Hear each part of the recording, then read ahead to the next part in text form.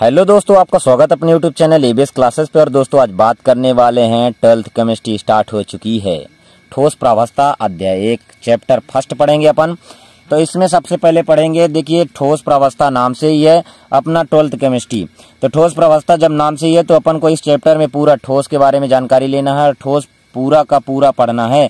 सबसे पहले मैं आप लोगों को यहाँ पे इसके बारे में परिचय कराता हूँ और इसके जहाँ पे क्वेश्चन आते हैं, उसको अपन को क्लियर करना है। तो देखिए ठोस ठोस कहता, ठोस कहलाता क्या पदार्थ की वह अवस्था जिसमें घटक आपस में अधिकतम बल से आकर्षित किए रहते हैं। मतलब कि उनके पास पास बहुत ज़्यादा बल से खींचे होते हैं। अब आप लोगों को मैं पूरा का पूरा इसमें समझाने वाला हूँ तो आप लोग पूरा देखिएगा वीडियो में, लास्ट तक ज़रूर बने रहें और इसका पीडीएफ यदि आपको चाहिए तो टेलीग्राम में ज्वाइन कर लीजिए। टेलीग्राम डिस्क्रिप्शन में लिंक दिया हुआ है। तो वहाँ पे भी आप लोगों को मिल जाएगा। आयोग चलिए मैं आप लोग को एक चीज़ बता देता हूँ। सबसे पहले ठोस समझा देता हूँ। तो ठोस को यहाँ पे देखिए। मान लीजिए ये जैसा बना हुआ है, ठीक है, यहाँ पे। तो ठोस में क्या होगा कि एकदम से जो कण होंगे बहुत पास पास होते हैं। एक दूसरे से एकदम से खींचे होते हैं, इसलिए ठोस होता है। और द्रव में क्या होता है कि थोड़ा सा दूर दूर होते हैं, ठीक है? और गैस में क्या होता है थोड़ा सा और ज़्यादा दूर दूर होते हैं। तो इस प्रकार से यह जाता है ठोस, द्रव, गैस। तो मतलब इसका जो आकर्षण बल ज़्यादा होता है, इसलिए पास पास होते हैं, ठीक है? उस चीज़ को यहाँ पे समझना है। तो ये ठोस में क्या कहलाता है पदार्थ की वह अवस्था जिसमें घटक आपस में अधिकतम बल से आकर्षित किए रहते हैं। इसके बाद चलते हैं ठोस। ठोस को समझते हैं। ठोस दो प्रकार के होते हैं, क्रिस्टली ठोस और अक्रिस्टली ठोस। अब इनके भी अंदर भी बहुत सारे प्रकार हैं, उनको भी समझेंगे। क्रिस्टली ठोस क्या है, ये चीज़ आप लोग देखिएगा। ऐसे ठोस जिनके अवयव, परमाणु, अणु या आयन आपस में नियमित रूप से जुड़े होते हैं, क्रिस्टली ठोस कहलाते हैं। देखिए, क्रिस्टली ठोस है क्या चीज़? कि जिसका नियम से, जैसे मान लीजिए हम कोई काम करते हैं, नियमित रूप से करते हैं तो मतलब हमारा बना है कि हम इस रास्ते से जाएँगे तो यहाँ तक जाएँगे। मतलब हमारा नियमावली बना हुआ है। तो उसी प्रकार ऐसे परमाणु या आयन या अणु आपस में एक दूसरे से ऐसे जुड़े रहते कि उनका फिक्स है कि वहीं पे जुड़ेंगे, दूसरे जगह नहीं जुड़ सकते। तो नियमित रूप से जुड़े रहते हैं, क्रमिक रूप से जुड़े रहते हैं, वो क्रिस्टली ठोस कहलाते हैं। और जो नियमित रूप से नहीं जुड़े हैं अक्रिस्टली कहलाते हैं। तो देखिए इनके गुण क्या है, इनकी जैमती निश्चित होती है मतलब आकृति जो जुड़े होते हैं, वो निश्चित होती है। इसके बाद यहाँ पे देखिए इनके बीच प्रबल बल प्रबल आकर्षण बल लगता है। अब यहाँ पे मैं बता चुका हूँ कि देखिए, यदि नियमित रूप से रहेंगे या फिर, देखिए, सबसे सिंपल समझिए कि यदि परिवार में पाँच भाई है तो पाँचों भाई यदि मिलकर रहते हैं तो उनको तोड़ने में कोई नहीं तोड़ सकता, इसलिए प्रबल रहते हैं। लेकिन यदि ये दोनों मतलब किसी किसी में यदि मतभेद हो जाता है तो वे छोड़ सकते हैं, इसलिए उनको तोड़ना आसान हो जाता है। तो इनके बीच प्रबल बल, आकर्षण बल रहता है, ठीक है?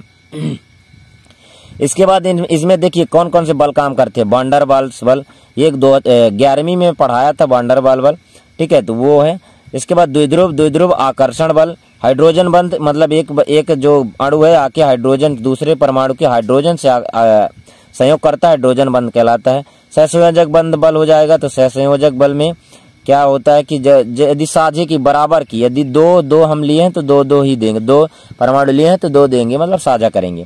धात्विक बंद मतलब धातुओं में ये ऐसे बंद जो कि दूसरे से साझा करते हैं, धात्विक बंद कहलाते हैं। इनका गलनांक निश्चित होता है। देखिए, अब जब कोई चीज़ जिनका निश्चित है कि उनका नियम निश्चित है, क्रम से कैसे उनका आकार रहेगा, सब चीज़ निश्चित है तो उनका गलनांक भी निश्चित होगा ऑलरेडी क्योंकि वो ऐसे जब टूटेंगे तो मतलब उनको फिक्स इतना एनर्जी मिलेगा, तब तो टूटेंगे। ठीक है तो इनमें उदाहरण भी है एन सोडियम क्लोराइड हो जाएगा ग्रेफाइट हीरा का आप संरचना देखे होंगे, यदि नहीं देखे होंगे तो आगे देख लेंगे क्योंकि आपके चैप्टर आपके बुक में है। हीरा की संरचना हो जाएगा, पोटेशियम नाइट्रेट, आयोडीन बर्फ़ हो जाएगा के हो जाएगा, ठीक है?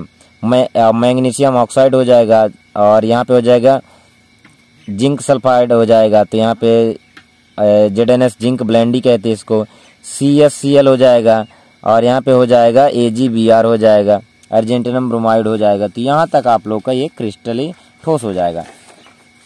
इसके बाद है अपना आक्रिस्टली ठोस आक्रिस्टली ठोस क्या देखिए, यदि आप लोग को पीडीएफ चाहिए तो कांटेक्ट कीजिए पर्सनल आप लोग को पीडीएफ मिल जाया करेगा।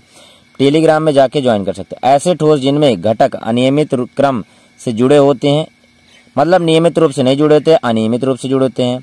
देखिए शॉर्ट में समझिए ए आभासी ठोस होते हैं, अतः ठोस के सभी लक्षणों को फॉलो नहीं करते कुछ गुणों को फॉलो करते हैं, इसलिए अक्रिस्टली ठोस कहलाते हैं। ठीक है?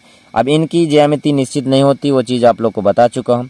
इनमें कुछ संपीडता का गुण पाया जाता है। संपीडन क्या है? देखिए, प्रसार होता है। मतलब कैसे? जैसे हम गुब्बारा में वो भर देते हैं, हवा भर देते हैं तो संपीड़न उसमें, संपीड़न का गुण होता है, इसलिए वो प्रसार हो जाता है।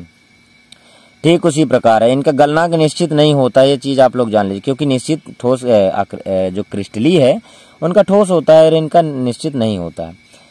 इसके बाद उदाहरण इसका समझिए। कांच हो गया, सिल्का हो गया, plastic, repairing, rubber polythene Teflon हो गया, सेलोफेन हो गया, पीवीसी पॉली बिनाइल क्लोराइड हो गया, फाइबर हो गया, ग्लास हो गया। इन सभी को आप लोग ट्वेल्थ में अपने आगे केमिस्ट्री में पढ़ेंगे इसको पूरा का पूरा। क्या है पीवीसी, क्या है सेलोफोन, क्या है टेफ्लॉन, प्लास्टिक, ये सब चीज़, पॉलीबिनाइल क्लोराइड, पूरा चीज़ पढ़ेंगे आप लोग, ठीक है? ये केवल आप लोग के लिए ट्रेलर है, क्योंकि क्वेश्चन आता है अक्रिस्टली ठोस किसे कहते हैं? और इसके उपयोग लिखिए तो यहाँ पे उपयोग बताया गया है कि अक्रिस्टली ठोस के उपयोग क्या है? प्लेट क्ला, ग्लास या कप बनाने में क्योंकि कप देखे हो कुछ लोग गाँव में बोलते हैं चीनी मिट्टी का कप कप है। तो वही चीज़ है। प्रयोगशाला में भी उपयोग किया जाता है सजावट की सामग्री में उपयोग किया जाता है। बायोन की खिड़की बनाने में प्रकाशीय उपकरणों में माइक्रोस्कोप में प्लास्टिक बनाने में लेंस बनाने में और रबर बनाने में। अब देखिए जब आप लोग लेंस पढ़ेंगे तो उसमें बताया जाएगा कि ये जो लेंस हैं आकृष्टली ठोस होते हैं तो वहाँ पे आप लोग को बनना चाहिए कि आकृष्टली ठोस आखिर है क्या चीज़? तब ना जाके आप लोग, आप लोगों से बनेगा कि लेंस इस तरह बना होगा। माइंड में क्वेश्चन आएगा।